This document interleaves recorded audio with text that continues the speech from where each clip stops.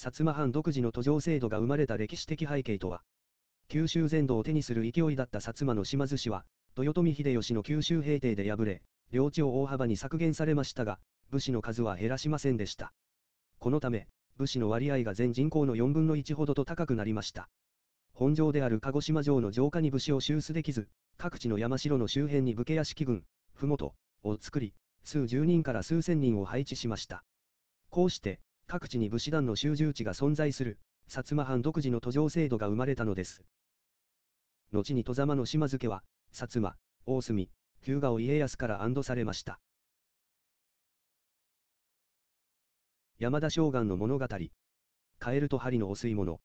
朝鮮の駅、省内の乱、関ヶ原の戦いに奮戦した武将としてその名を広く知られていた山田将軍が、寛永6年、1629年、51歳で、福山から第三代地頭として、泉へ着任しました。泉州は歓迎会を開き、いざ宴会が始まり、出されたお吸い物の蓋を開けると、そこにはカエルが一匹入っていました。新しく来た地頭を小馬鹿にして困らせてやろうと泉州がいたずらをしたのです。しかし、将軍は何も言わずにそれを食べてしまいました。泉州は驚きました。それからしばらく後、今度は歓迎会のお礼にと、将軍が宴会を開きました。カエルのことがあったので、泉州はドキドキしていました。出されたお吸い物の蓋を開けてみると、中には針が一本沈めてありました。生姜は、人は外見ではない、見た目が嫌なだけのカエルは食べることができるが、針は飲み込むことができない、小さい針と同じで、人間も見た目だけでは判断できないのだ、ということを泉州に伝えるために用意したのでした。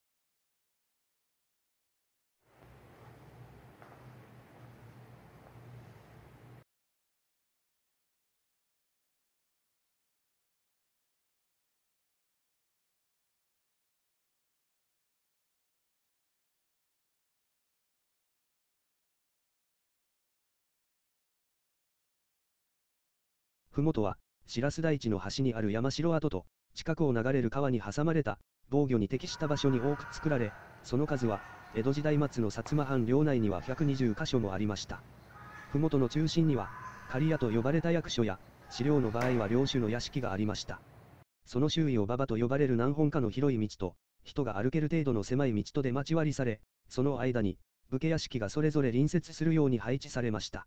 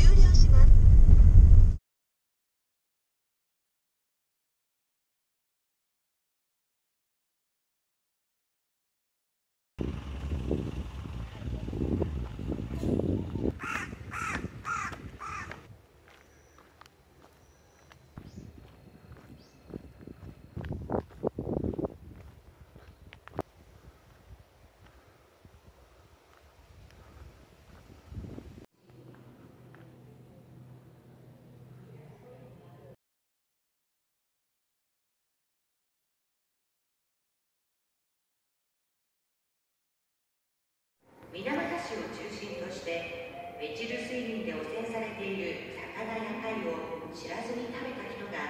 たくさん病気になり始めました。